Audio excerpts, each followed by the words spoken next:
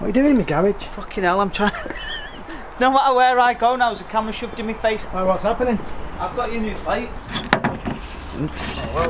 There goes your uh, paperwork. I bought you a set of private ones. Oh, it should spell evil FRS. No, I couldn't get that one. evil. What else could it say? Evil FOC. Evil. TIT. If I was going to put one on for you, it'd be evil COK. So I thought Is this, because is this your present to me? because you're going to be taking this on track, Yeah.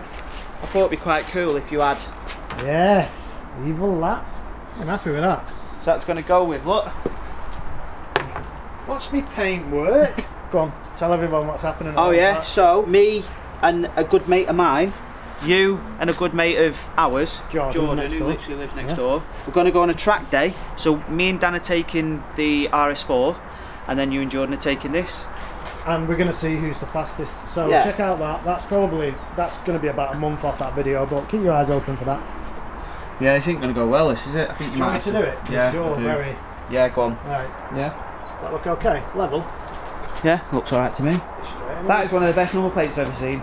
Yeah. Right, you're going to do the front one now. Don't use a power drill on a car. Go on, that'll be in the comments. Oh no, well. you'll be using the wrong drill. Why don't they just put stickers on number plates? It's quicker. You don't have to drill the, the plate, and it's. Yeah, I don't know. I'd actually leave that number plate off. That looks that looks cool. That.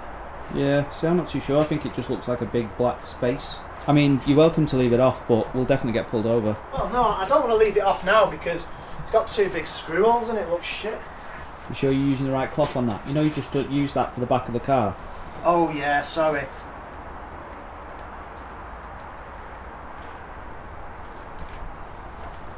How's that looking? Have you give it a good push on? No, no, I want to see if it's level. Is it level? No, it looks low on the right hand side. That, what do you think? looks low there. Uh, only by a few mil.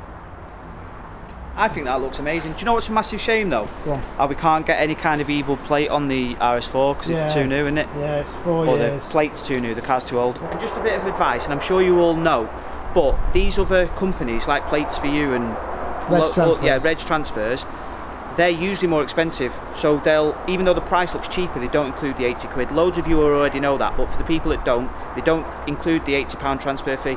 DVLA always do. a couple of others, but one of the plates you looked at was six hundred pound on um, eBay, and then you go on the DVLA website and it's four hundred pound. Oh yeah. So people are just listing plates off DVLA on eBay, making a couple of hundred pounds. So always check DVLA Yes. uh, registrations. There you go. More advice. So not Do you know just what? not just two guys who don't know anything about cars. yeah. bit of advice. There's a you bit of consumer advice for you. Yeah. So Have that. see you later. Ta-ra.